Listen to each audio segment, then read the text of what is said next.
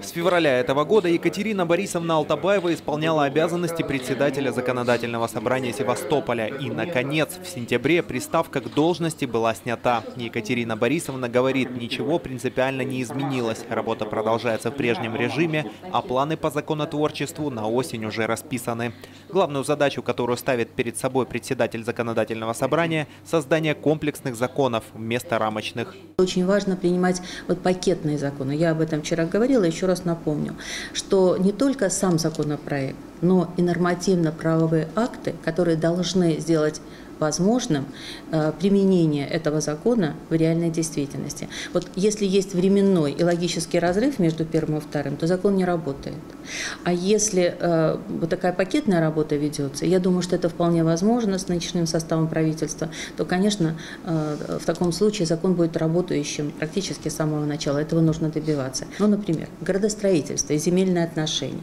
И здесь на субъектовом уровне, в рамках, конечно, данных полномочий, нужно э, законы, я полагаю, мы эту работу вместе с правительством наладим, такие, которые помогут решить наши специфические проблемы. Из приоритетных законопроектов, которые будут обсуждаться на пленарных заседаниях, Екатерина Алтабаева выделила те, что связаны с градостроительством. По ее мнению, нужно как можно скорее навести порядок в этой сфере. Более того, со вступлением в должность нового, пока еще временно исполняющего обязанности губернатора, появилась возможность пересмотреть вето на закон об особенностях регулирования имущественных и земельных отношений на территории Севастополя, который известен как закон убийца апартаментов. Должен быть генеральный план, должны быть правила землепользования и застройки. Нужно э, все-таки думать над механизмом, и я думаю, что это только через судебное решение, о возвращении тех земель, которые в украинское время были выделены с нарушениями украинского законодательства. У нас такое рабочее совещание было по поводу недопущения э, застройки особо охраняемых природных территорий, э, объектов культурного наследия. Вот это то, над чем нужно работать. Это вообще не требует, э, не, не, не терпит отлагательств. Приоритетной остается и работа над изменениями изменениями в устав города. Севастополь должен получить право самостоятельно выбирать губернатора, убеждена председатель законодательного собрания Севастополя. Сформирован законопроект о субъектном референдуме, который прошел проверку избирательной комиссии и в государственном правовом управлении. Сейчас депутаты работают над изменениями и, скорее всего, законопроект будет рассмотрен на одной из осенних сессий.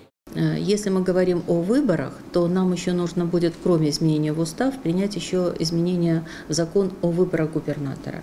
И это тоже, он у нас, э, собственно, даже внесен, но не был рассмотрен по понятным причинам, поскольку в этом не было скорейшей необходимости, у нас не было изменения в устав, и поэтому сам закон был бы не актуален.